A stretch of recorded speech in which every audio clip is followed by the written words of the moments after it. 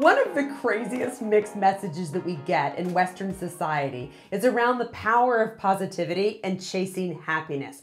We want you to be positive. We want you to be happy. And yet, the minute that you show up as a happy, positive, forward focused individual in a meeting, they think you're stupid. So that's why I came up with AmyKism number 79.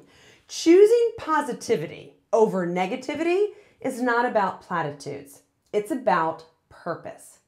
Being the negative, backward focused individual is really easy, also known as lazy. I can tell you 10 reasons why that won't work, and I can be really snarky and irreverent about it.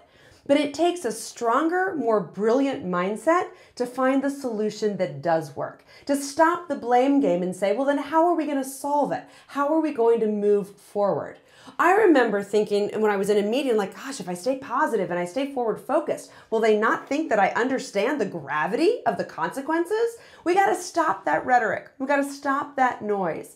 Choosing positivity over negativity every single day of the week takes a strong, brilliant mind.